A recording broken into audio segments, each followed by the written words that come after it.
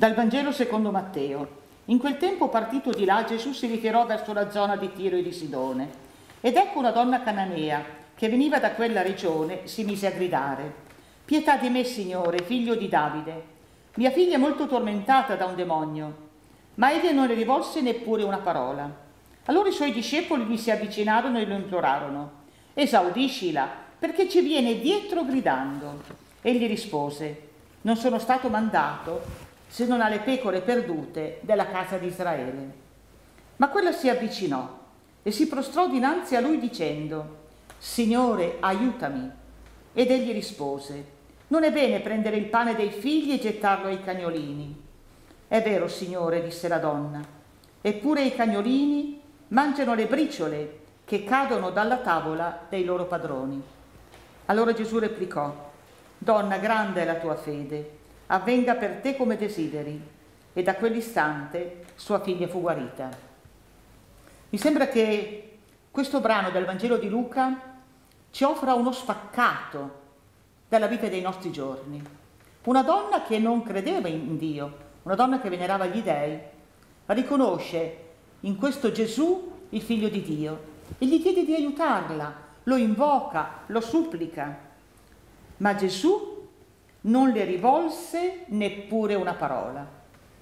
Pensiamo a quante volte anche noi desideriamo tanto incontrare qualcuno di importante, ci prepariamo e magari quell'incontro non ci dice niente, perché quella persona che noi desideravamo incontrare non ci rivolge neanche uno sguardo. Pensate quello che ha vissuto quella donna. Allora i discepoli gli dicono, ma maestro, questo qui continua a sgionfarci, continua a urlarci dentro, dietro. E allora per piacere aiutala. I discepoli non chiedono a Gesù di aiutarla perché anche lei è una creatura figlia di Dio, ma solo perché urla loro dietro.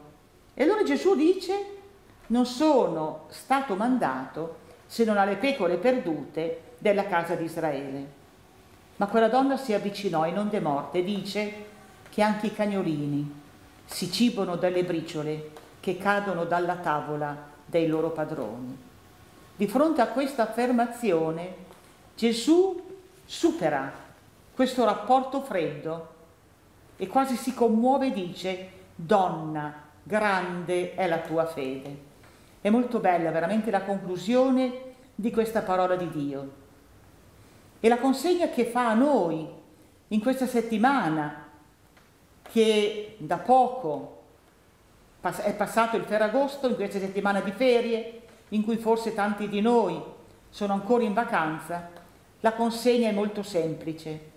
Credere che Gesù ha una parola per tutti. Credere che ogni creatura è figlia dello stesso Padre. Riconoscere in coloro che avviciniamo fratelli e sorelle Oggi facciamo fatica, amici, a riconoscere questo, perché la paura prende tante volte il sopravvento, perché ci lamentiamo dei profughi, degli stranieri, dei rom, abbiamo paura. Il Signore ancora una volta ci chiede, superate la paura. Superare la paura non vuol dire fare delle cose eclatanti, ma vuol dire prima di tutto cambiare il nostro cuore. Forse non potremo fare nessun gesto, ma è il cuore che deve cambiare, perché è lì che abitano le cose belle e le cose brutte. È dal cuore che nascono i nostri desideri più profondi. E guardate che Gesù nel cuore di ciascuno ha messo la bontà. E allora veramente chiediamo al Signore in questa settimana che ci aiuti ad essere degli uomini buoni, che non hanno paura di credere che Gesù è venuto per tutti, che Gesù è morto per tutti e abbiamo il coraggio di guardare i nostri fratelli non con l'occhio del giudizio, ma con l'occhio e con il cuore dell'amore. Vi dicevo, senza la pretesa di fare miracoli.